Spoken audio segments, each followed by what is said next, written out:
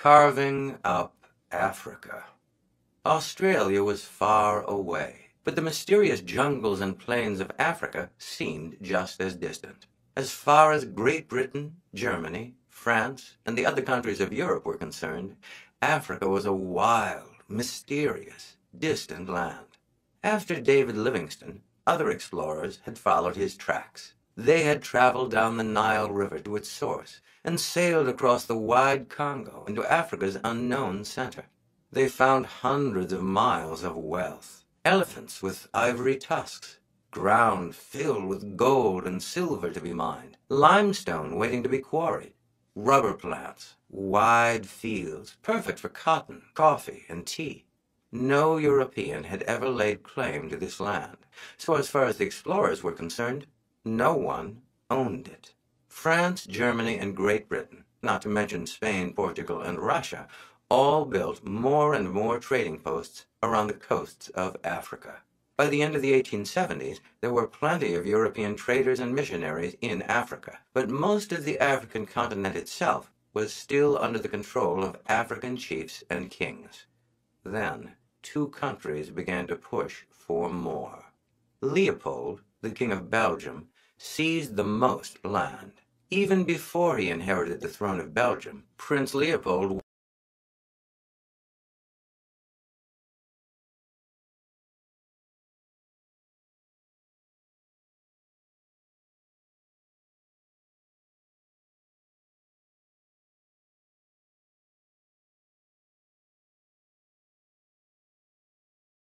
wanted his tiny country to grow larger by claiming colonies all around the world. Five years before becoming king, he told his people, I believe that the moment is come for us to extend our territories. I think that we must lose no time under penalty of seeing the few remaining good positions seized upon by more enterprising nations than our own. And just one year later, he told his countrymen, Imitate your neighbors Extend beyond the sea whenever an opportunity is offered. You will there find precious outlets for your products, food for your commerce, and a still better position in the great European family. When Prince Leopold became King Leopold II, he tried to convince the Belgian parliament to claim the center of Africa, the Congo Basin, for its own. Parliament refused. So Leopold announced that he was going to found a new charity, the International African Association, which would bring modern science and trade into Africa. He hired Henry Stanley, the explorer who had gone into Africa and looked for Livingstone, to help him map out trade routes into the Congo.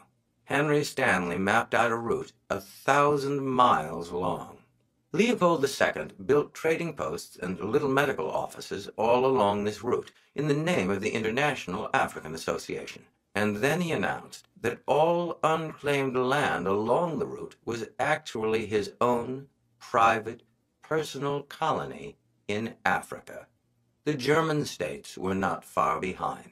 In 1880, only nine years after the German states had reluctantly agreed to recognize Wilhelm as the German emperor, the Second Reich was claiming lands in both the east and the west of Africa for Germany. The other countries of Europe didn't intend to be left behind, while Belgium and Germany took the riches of Africa for their own. Portugal claimed the southeastern African coast. The French took control of lands in the west, southwest, and north, and also convinced chiefs in the upper Congo to sign treaties of peace in exchange for bolts of cloth and barrels of alcohol. Italy signed a treaty of alliance with Ethiopia in the northeast of Africa, and Great Britain claimed pieces of the southeastern coast the southern tip of Africa, and a few scattered kingdoms along Africa's western coast. All of these countries wanted still more. The years after 1880 became known as the Scramble because so many countries were elbowing each other to gain control of African land. Every country in Europe believed that whatever country held the most foreign territory could claim to be the greatest. In 1884, Germany invited the rest of Europe to a conference in the German city of Berlin. At this Berlin conference, representatives from a dozen different countries decided that it would be best for everyone if France, Germany, Portugal, Italy, and all the other countries of Europe didn't fight over Africa. After all, wars were expensive. it would be simpler to just agree on some way to divide the land fairly. After all, there was a lot of Africa to go around. So at the Berlin Conference, the countries of Europe agreed that if any country built trading posts and missionary stations in any area of Africa, that country had occupied the area and could claim it. No other country would try to claim or attack that territory. Everyone signed the agreement and went home, pleased with their civilized and peaceful solution. But this very civilized and peaceful solution ignored the African tribes who had lived in these occupied countries for thousands of years. Most Europeans thought that the Africans who lived in the plains and jungles of their continent weren't fully human, certainly not smart enough to control their own land. For Europeans, Africans were like children who had to be watched over, guided, and controlled. Although the Berlin Conference was supposed to prevent war, it actually caused a hundred years of unhappiness and unrest in Africa. When a European country occupied part of Africa, it drew lines around its new colony and gave it a name, like British Somalia or Rhodesia.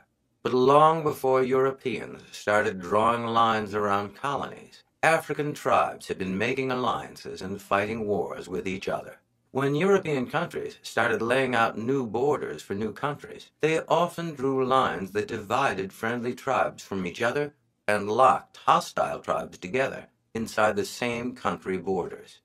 By 1900, every mile of Africa, except for Ethiopia on the eastern coast and the little country of Liberia on the western coast, had been claimed by a European country.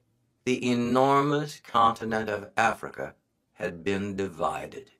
Germany, Italy, Britain, Portugal, Spain, and France had taken every square inch. An African American writer named W. E. B. Du Bois was in his teens when the Berlin Conference ended. He watched the changes that Europeans brought to Africa as they built trading posts and missionary stations and took Africa for their own. As a grown man, he wrote, The invading investors who wanted cheap labor at the gold mines, the diamond mines, the copper and tin mines, the oil forests and cocoa fields, followed the missionaries. The authority of the family was broken up. The authority and tradition of the clan disappeared. The power of the chief was transmuted into the rule of the white district commissioner. By the end of the 19th century, the degradation of Africa was as complete as organized human means could make it.